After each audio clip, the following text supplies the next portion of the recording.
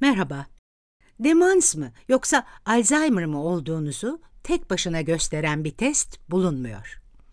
Çünkü hafıza kaybı, kafa karışıklığı gibi genel belirtilerin olası birçok sebebi olabilir. Eksiksiz bir tıbbi değerlendirme gerçekleştirmeden teşhis konamıyor. Fakat bütün bunlara yol açan nedir?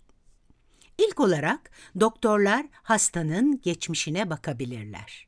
Hastanın kendisinden olduğu kadar aile ve arkadaşlarından da bilgi edinmeye çalışırlar ve bunun için çeşitli sorular sorarlar. Mesela ne gibi belirtiler gözünüze çarptı? Ya da bunları ne zaman fark ettiniz? Ne sıklıkla gerçekleşiyor? Daha da kötüleştiği oldu mu? Aynı zamanda hastanın duygusal durumunu da değerlendirmeye çalışırlar. Hasta uzun bir müddet hastalığın son durumundan tamamen habersiz olabilir veya bunu reddedebilir. Bu çok zor bir durumdur çünkü bazen aile bile hastalığın ilerleyişini kabullenmeyebilir. Bunun sebebi de demansın birçok erken belirtisinin aynı zamanda yaşlanma belirtileriyle neredeyse aynı olmasıdır. Demans teşhisinin çok zor olmasının ve teşhis için başka yöntemlere güvenmemiz gerektiğinin bir başka nedeni de budur. Yani bu durumda fiziksel muayene de yapılabilir. Muayenede doktorunuz işitmenizi, görmenizi, kalp ve ciğerlerinizi, vücut ısınızı, kan basıncınızı ve nabzınızı kontrol eder. Hatta kan ve idrar tahlillerinizi bile isteyebilirler. Doktorunuz bu kontrollerden edineceği bilgiyle hastalığın altında yatan başka sağlık sorunları olup olmadığını anlamaya çalışır. Bunlar kalp sorunları ve damarsal demans gibi demansa sebep olan veya hastalığa katkısı olan sorunlar olabilir. Ya da doktorunuz demansı taklit eden başka bir durumla karşı karşıya olup olmadığınıza bakar. Çünkü kansızlık veya depresyon, enfeksiyon, diyabet, böbrek hastalığı gibi hastalıklar demans benzeri belirtilere neden olabilirler. Bu hastalıklarda da kafa karışıklığı ve hafıza sorunları görülebilir. Fiziksel muayenelerin yanında nörolojik bir değerlendirme de yapılabilir. Bunda hastanın sinir sistemine bakılır. Denge ve ışık kullanarak duyu işlevi test edilir. Küçük çekiçle hafifçe dize vurarak refleksler kontrol edilir. Doktor aynı zamanda hastaya bilişsel veya nöropsikolojik testler de verebilir. Bunlar hastanın güncel hafıza, dil becerisi, aritmetik becerisi ve diğer zihinsel işlevle alakalı becerilerini objektif olarak ölçmek için kullanılır. Bu testlerden en bilineni mini mental durum ölçeğidir. Kısaca MMSE. MMS'i. Bu ölçek özellikle demansın teşhisinde oldukça faydalıdır. Çünkü test, oryantasyon, hafıza ve dikkat konularını gözden geçirir. Mesela sözlü veya yazılı komutları takip etme veya rastgele bir cümleyi yazma, karışık bir şekli tekrar çizme gibi şeyler istenebilir. Çıkan sonuca dayanarak belirli bir demans seviyesi ileri sürülebilir. Yaklaşık 20 ila 24 puan arası hafif demans. 13 ila 20 arası orta demans.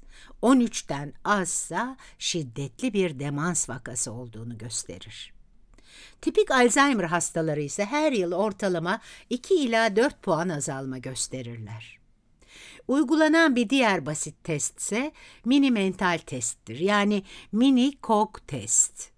Bu testte hastaya üç objeyi söylemesi ve sonra bunları doktora tekrar etmesi istenir. Örneğin araba, sandalye ve kupa. Sonraki bölümde hastadan analog saat çizmesi istenir. Üstüne belirli bir saat diliminde çizmesi gereklidir. Üçüncü olarak hastaya başlangıçtaki objelerin neler olduğu tekrar sorulur. Araba, sandalye ve kupa örneği vermiştik. Hasta bunlardan birinden başarısız olursa bu demans belirtisi anlamına gelebilir ve daha detaylı bir değerlendirme gerekebilir. Diğer bir olası test ise psikiyatrik değerlendirme. Diğer bir deyişle durum değerlendirmesidir. Doktorlar hastanın son zamanlardaki ruh halini değerlendirmeye çalışırlar ve depresyon veya diğer ruhsal durum bozukluğu belirtileri ararlar. Bu hastalıklar demans belirtileriyle çakışabilir. Son olarak hastaya beyin taraması yapılabilir. Beyin, beyin taramasıyla gerçek anlamda görsel hale getirilebilir. Bilgisayarlı tomografi yani CT, CT tarama veya manyetik rezonans görüntüleme yani MRI, MRI gibi teknikler kullanılır. Bu taramaları istememizin de sebepleri var. Tümör gibi bilişsel hasarlara yol açan daha büyük kitleleri tanımlamada yararlı olabilirler. Aynı zamanda ayrımcı teşhis konmasına da yardımcı olabilirler. Yani hangi tür demansın etkili olduğunu anlamamızı sağlayabilirler. Bazen en çok atrofinin beyin dokusunda nerede olduğuna bakarak hangi çeşit demansın olduğunu anlayabiliyoruz. Mesela hipokampusta olan atrofi, Alzheimer hastalığının habercisi olabilir. Ya da ön lobdaki atrofi, frontotemporal, ön şakak demansın olduğu anlamına gelir. Görüntülenen damarsal patolojiler, damarsal demansın varlığına işaret edebilir. Beyin taraması istenmesinin bir başka sebebi ise hastalığın ilerlemesini gözlemlemektir. Birkaç yılda gerçekleşen görüntüleme oturumları beynin zaman içinde ne kadar değiştiğini gösterebilir. Fazla oluşan atrofi hastalığın ilerlemesinin bir göstergesi olabilir. Fakat atrofi zamanla aynı kalır da değişmezse bu farklı veya sabit bir bilişsel hastalığın olduğu anlamına gelebilir. Sonuç olarak araştırmalar için görüntülemenin önemi büyüktür. Özellikle yapısal görüntüleme ve herhangi bir kimyasal sürece ek olarak hangi yapıların hastalıktan ilk başta etkilendiğini anlama konusunda büyük bir öneme sahiptir. Bu bilgiler doktorlara ve araştırmacılara benzer şekilde yardımcı olur. Demansı bir hastalık olarak kavramaya ve gelecekte daha etkili tedaviler geliştirmelerine yarar.